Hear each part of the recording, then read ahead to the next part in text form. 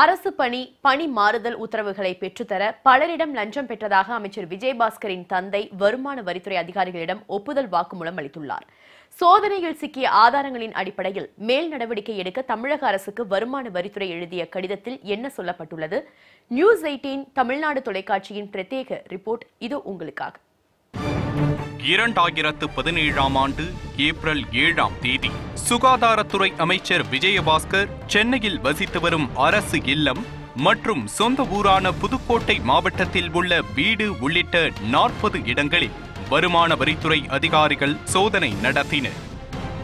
விசாரணை முடிந்த நிலையில் சோதனையின் போது கிடைத்த ஆதாரங்களைக் கொண்டு அமைச்சர் விஜயபாஸ்கர் மீது உரிய நடவடிக்கை எடுக்க கோரி வருமான வரித்துறை தமிழக அரசுக்கு விரிவான அறிக்கையை அனுப்பியுள்ளது.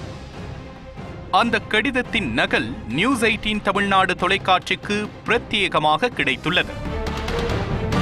அதில் பல அதிர்ச்சிகரமான தகவல்கள் வெளியாகியுள்ளன புதுக்கோட்டை மாவட்டம் இலுப்பூரில் உள்ள அமைச்சர் விஜயபாஸ்கரின் இல்லத்தில் நடத்தப்பட்ட சோதனையில் கணக்கில் வராத இருபது லட்சம் ரூபாய் பறிமுதல் செய்யப்பட்டது. இருபது லட்சம் ரூபாயில் பனிரெண்டு லட்சத்து தொன்னூற்று ஆறாயிரம் ரூபாய் இருபத்தி எட்டு கவர்களில் போட்டு வைக்கப்பட்டிருந்தது கண்டுபிடிக்கப்பட்டது.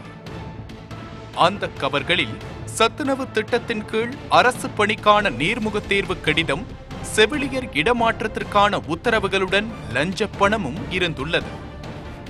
அரசு பணி பெற்றுத் தருவதாகவும் பணியிட மாறுதல் உத்தரவுகளை பெற்றுத் தரவும் பலரிடம் லஞ்சம் பெற்றதை அமைச்சரின் தந்தை சின்ன தம்பி ஒப்புக்கொண்டு வாக்குமூலம் கொடுத்துள்ளார் என்கிறது வருமான வரித்துறையின் கடிதம். ஆனால் இந்த விவகாரம் தொடர்பான வருமான வரித்துறை அதிகாரிகளிடம் தனது தந்தையின் வாக்குமூலத்தை அமைச்சர் விஜயபாஸ்கர் மறுத்திருக்கிறார். அமைச்சரின் வீட்டில் நடத்தப்பட்ட சோதனையை அடுத்து சென்னை வளசரவாக்கத்தில் உள்ள அமைச்சர் விஜயபாஸ்கரின் உதவியாளர் ஜே ஸ்ரீனிவாசன் என்பவரது வீட்டிலும் வருமான வரித்துறை அதிகாரிகள் சோதனையிட்டனர்.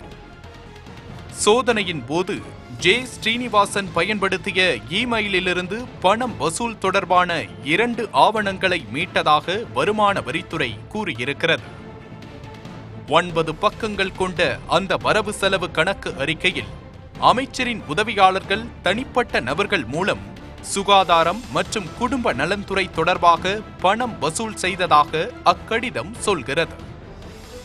இரண்டாயிரத்து பதினாறாம் ஆண்டு ஜூலை முதல் நவம்பர் வரையிலான காலகட்டத்தில் இருபது கோடியே எழுபத்தைந்து லட்சத்து தொன்னூற்றோராயிரத்து ஐநூறு ரூபாய் வசூலித்தது கண்டுபிடிக்கப்பட்டுள்ளதாக வருமான வரித்துறை கூறியிருக்கிறது. பறிமுதல் செய்யப்பட்ட இருபது கோடியே எழுபத்தைந்து லட்சம் ரூபாய் தமிழகத்தில் உள்ள தனியார் நர்சிங் கல்லூரிகள் மற்றும் பாராமெடிக்கல் படிப்புகளுக்கு அனுமதியளிக்க பெறப்பட்ட லஞ்சம் என்கிறது வருமான வரித்துறை. இன்னோர் அதிர்ச்சியான முறைகேட்டையும் வருமான வரித்துறை அதிகாரிகள் கண்டுபிடித்துள்ளனர். புதுக்கோட்டை திருவேங்கை வாசல் கிராமத்தில் அமைச்சர் விஜயபாஸ்கர் மற்றும் குபேந்திரன் ஆகியோருக்கு சொந்தமான நான்கு புள்ளி ஒன்பது ஒன்று ஹெக்டேர் பரப்பளவில் கல் குவாரி செயல்படுகிறது. புதுக்கோட்டை மாவட்ட ஆட்சியர் கனிம வளத்துறை சுற்றுச்சூழல் ஆகிய துறைகளின் அனுமதி கடிதத்தின்படி தரை மட்டத்திலிருந்து நாற்பத்து மூன்று மீட்டர் வெட்டி எடுக்க அனுமதி அளிக்கப்பட்டுள்ளது. ஆனால் விதிகளை மீறி சுமார் எழுபத்தி இரண்டு மீட்டர் ஆழத்திற்கு கற்கள் வெட்டி எடுக்கப்பட்டுள்ளதாக வருமான வரித்துறையின் கடிதத்தில் சுட்டிக்காட்டப்பட்டுள்ளது. அனுமதியின்படி இரண்டு லட்சத்து தொன்னூற்றைந்தாயிரத்து அறுநூற்று நாற்பத்தி இரண்டு கனமீட்டர் அளவிலான கற்களை வெட்ட அனுமதி பெற்றுவிட்டு விதிகளை மீறி இருபத்தைந்து லட்சத்து ஐம்பத்தோராயிரத்து எண்ணூற்று அறுபத்தி எட்டு கனமீட்டர் அளவு வெட்டப்பட்டுள்ளது கண்டுபிடிக்கப்பட்டுள்ளது. அதாவது அனுமதிக்கப்பட்டதை விட எண்ணூற்று ஐம்பது சதவிகிதம் கற்கள் சட்டவிரோதமாக அதிகளவு வெட்டப்பட்டுள்ளது கண்டுபிடிக்கப்பட்டுள்ளது.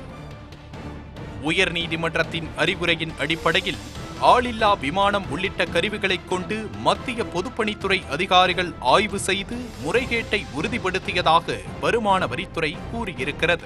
வருமான வரித்துறை அதிகாரிகளால் அம்பலப்படுத்தப்பட்ட குட்கா விவகாரம் சூடுபிடித்திருக்கிறது. இந்த சூழ்நிலையில் அதே வருமான வரித்துறை அதிகாரிகளால் அம்பலப்படுத்தப்பட்டிருக்கும் இந்த முறையீடு குறித்து சம்பந்தப்பட்ட துறையும் தமிழக அரசும் நடவடிக்கை எடுக்குமா?